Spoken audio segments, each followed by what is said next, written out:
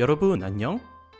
오늘은 16세기 조선의 대표적인 성리학자로 호남의 정신적 지주였던 고봉 기대승 선생의 학문과 덕행을 기리기 위해 세워진 월봉서원을 소개할게.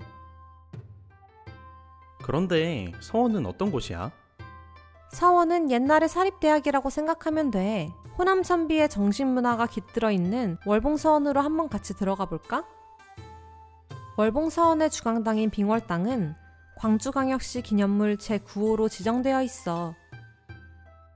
월봉서원은 고봉 기대승 사후 7년 만인 1578년 호남 유생들이 지금의 신룡동인 나감 아래 망천사라는 사당을 세우면서 시작됐어.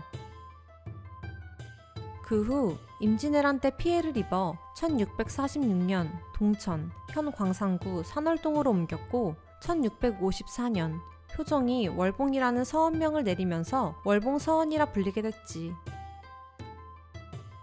그럼 이곳의 주인공인 고봉 기대승은 어떤 분이셨어? 고봉 기대승은 16세기를 대표하는 성리학자로 조선의 성리학 지평을 넓히고 발전시킨 인물이야.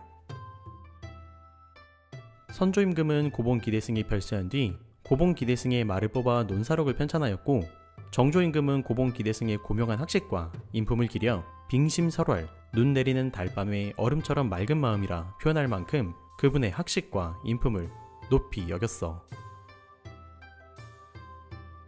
주요 저서로는 고봉집, 주자문록, 논사록 등이 있어. 특히 고봉 기대승이라면 퇴계 이황과의 세대를 넘어선 사상 논쟁인 사단 칠정 논변을 빠뜨릴 수 없지. 사단이란 측은지심, 수호지심, 사양지심, 십이지심이라는 인간의 네 가지 본성을 말하고 칠정이란 희노의 구애오욕이라는 인간의 자연스러운 일곱 가지 감정을 말하는 거야. 두 사람은 나이나 지위에 구애받지 않고 학문 논쟁을 넘어 서로의 안부를 묻고 정치와 처세, 나가고 물러감의 이야기, 집안일까지 서로 이야기하는 끈끈한 인연이 이어졌고 이러한 논쟁을 통해 조선 성리학의 수준을 끌어올리는데 크게 기여했어.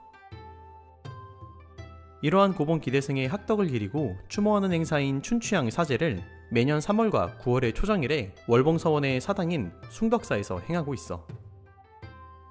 월봉서원 문화재 활용 프로그램은 2014년부터 3년 연속 우수사업으로 선정되어 전국 향교서원 최초로 문화재청 명예의 전당에 올라 전국 향교서원의 활용 모델이 됐어.